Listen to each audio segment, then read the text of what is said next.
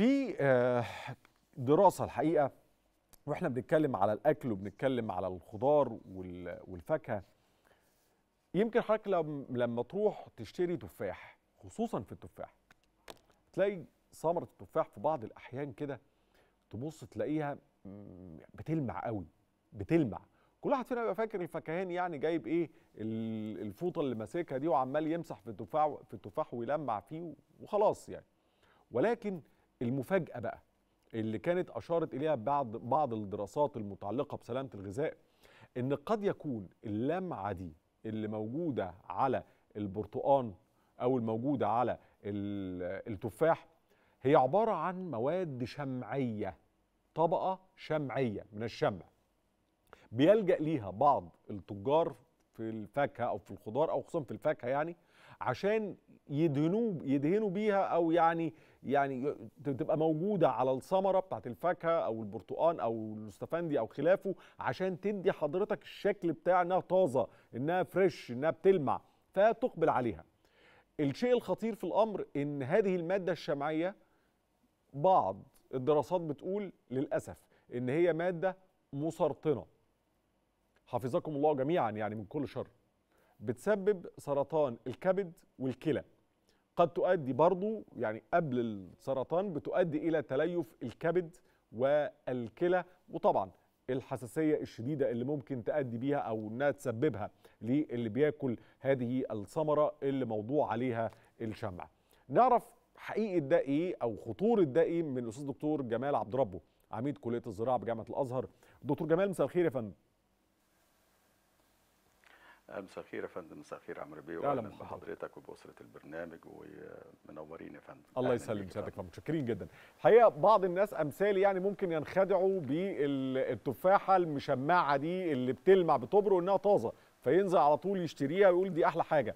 ولكن اللي قريناه وعرفناه إنها قد يكون الشمع ده مسرطن.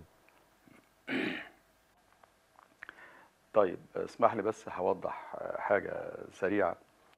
أنا الحقيقة ما بحبش يعني أخوف آه، الناس. إحنا بنوعي آه،. الأمر بتاع التشميع تمام تمام يا فندم. الأمر بتاع التشميع هو أمر آه، متداول بالنسبة لي إحنا حتى بندرسه في كورس اسمه يعني تخزين أو إعداد وتداول وتخزين الحاصلات البستانية تحديدا الخضر وفاكهة يعني بالذات.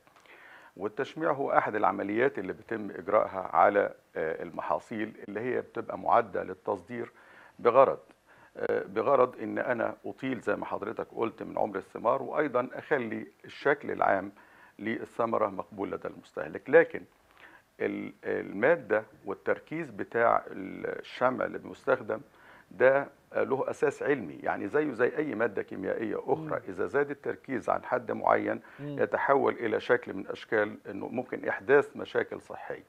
لكن الحقيقة إحنا دايما بقول هو أي مرض لا قدر الله وأنا طبعا مش طبيب قوي يعني لكن بنقول بيحصل إمتى المرض والتأثير الممرض؟ لما بيحصل اكوميليشن لما بيحصل تراكم للمادة ديت يعني أنا هاخد النهارده مثلا تفاحية وبعدين آه، كمان يومين ثلاثة تفاحية أخرى كمان أسبوع كمان ثلاثة كمان أربعة. الجسم الجسم بيقعد. مين عضو التخزين فين؟ آه بالظبط. الفلترة دي عندنا في الك- الكبد تحديدا فلما بيصل التركيز إلى ال- ال- الدرجة أو الجرعة اللي هي ممكن تحدث المرض بيبدأ حدوث هذا الأمر. لكن. إحنا بنقول بشكل عام لو أنا دلوقتي كمواطن طبيعي عندي أنت حضرتك ضربت مثال بالتفاح على سبيل المثال. التفاح هو الحاجة اللي أنا ممكن أقلق منها سنة وخاصة لو أنا بشتري من بائع جائل. معلش يعني من البائع الجائلين. أو عند وعشان كده التوصية بتاعتنا هتبقى بتقول جمال عند الفكهاني. ما أنا هقول لحضرتك لأ تمام. الفكهاني الحقيقة يفترض إنه المحل ده بيبقى مرخص وبالتالي بيمر عليه حد من التموين أو حد من الصحة أو حد من الزراعة. دول كلهم الهيئات اللي هي بتمر على أي كل المحلات دي آه، بشكل أو بآخر بيتم المرور عليها. وهو ما يقدرش ده هو الخطورة في إيه؟ في بعض ال- الباعة الجائلين أو البعض.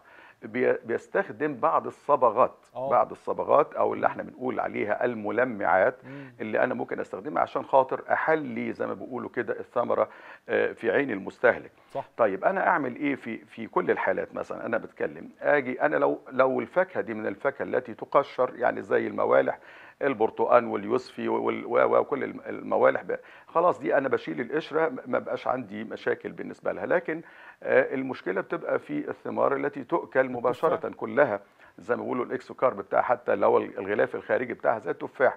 طيب أعمل إيه أنا في الحالة زي؟ ال- ال- القصة بتاعت التشميع لو تشميع عادي زي ما في محطات التداول ده أحد العمليات زي ما أنا قلت اللي بتتم وبتم آه، بعد ما بغسل الثمرة وبطهرها وبعدين بجففها ثم تاخد دش من الشمع علشان ده بتركيز معين إحنا بنقول دايما التركيزات دي بتاعت الشمع بتبقى من 3 من 100 إلى 3 من 10% تركيز PPM. PP part million يعني جزء في المليون جزء. يعني حاجة لا تذكر خالص. وبالتالي هي بت- بتتعمل طبقا لقواعد عالمية متفق عليها ما بتتمش كده. لكن العشوائية أو الخطورة تتم إمتى؟ لما يبقى واحد بيستخدم هذه المادة ب- آه، مثلا بخاخة أو بتاع وهو بيعمل هذا الكلام بنفسه بتبقى هنا الخطورة. طيب أعمل إيه برضو؟ الشموع بالتالي عشان خاطر أقدر أزودها. أنا بستخدم مية دافية يعني درجة حرارتها 45 إلى 50 درجة مئوية. أو أسهل حاجة إن أنا اقشر آه، مثل هذه التفاحة اللي أنا يعني أجيب المقشره تقول كده إيه؟ واقشر الايه بيغسل التفاحة أنا آسف جدا لمقاطعة سيادتك يقول لحضرتك إيه آه تل... نعم. تلاقيها نعم. أنا آسف مشمعة في إيده أو مدهننة في إيده نعم. يعني ك... كأن فعلا أيوه عليها. آثار شمع يعني وده ناس كتير بت... عليها طبقة. شمع أيوه في الحالة دي تبقى تتقشر. أفضل بالظبط أنا هقول لها بس لحضرتك حاجة معظم الثمار أو إن لم يكن كلها الحقيقة بيبقى أساسا بتنتج طبقة شمعية طبيعية. دي لحمايتها أساسا من الأمراض الفطرية وخلافه. حتى لما بيجي هو يعمل عملية الشمع فبيعمل الأول عملية زي إزالة للطبقة الشمعية الطبيعية دي وبعدين اللي هو بت- بتروح مع عملية الغسيل ومع عملية.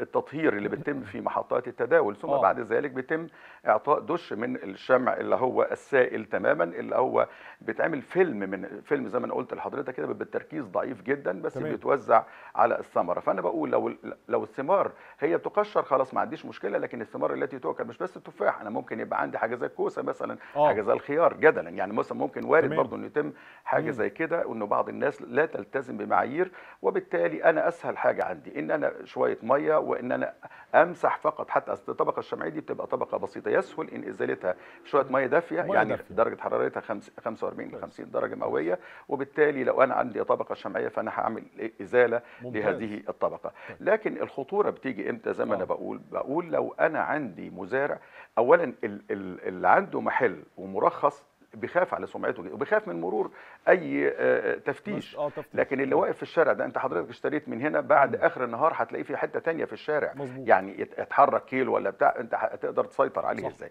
هي دي الإشكالية عشان كده أنا بقول وزي ما حضرتك قلت برضو حتى لما كنت بتتكلم على حماية المستهلك والرقم ال ال إحنا بنتكلم في 19 منظومة كاملة 55. المواطن له الدور الأساسي في حما في حماية نفسه طبعا. في حم... يعني لازم هو يكون إيجابي لما أنا يعني أشوف أي حاجة أو أنا بتكلم إحنا مش كلنا بنشتري برضو هقول من. الباع الجائلي ولكن نكون لكن لما تبقى الحاجة ملفتة للنظر. جدا آه يبقى شكلها حذرين. مريب شكلها حذرين. مريب الفراولة حمراء بتبرق جدا يعني يبقى حاجة بالتالي لما في تبقى. زايدة عن اللزوم صح بالظبط صح وحضرتك حضرتك قلت حضرتك قلت على الحتة زي فكرة المية الدافية والمية السخنة دي مع الخضار مع الفاكهة خصوصا الحاجات اللي بيبقى فيها نعم. مواد شمعية يعني. صحيح. نم أنا متشكر جدا جدا بالظبط. بس أنا مش. هقدر طبعا أعمل حاجة زي كده. اتفضل. اتفضل يا فندم لا لا لا تحت مش هقدر مثلا حاجة زي كده أعملها بالنسبة للفراولة لأن دي من ضمن الحاجات اللي هي سريعة التلف جدا واللي هي نسبة رطوبة عالية جدا جدا مم. فيها ما أقدرش أحطها آه،. في مية عشان أزيل مثلا كذا لكن طبعا. بيبان على الثمرة نفسها إذا كان في دكانة في اللون جامد يبقى بالتالي أنا مش هقدر عظيم. يعني أستبعد مثل هذه الأمور يعني دايما صحيح. أشتري الحاجة اللي هي المضمون الطبيعية اللي موجودة آه، عندي آه، تمام يا فندم. شكرا جزيلا الاستاذ الدكتور جمال عبد الرب وعميد كلية الزراعة جامعة الأزهر والخط الساخر 19 آه، طبعا الشكاوى الخاصة بجهاز حماية المستهلك 19 588 وموجود على الشاشة برضو قدام حضراتكم. فكرة الإيجابية فكرة الإيجابية فكرة الإيجابية.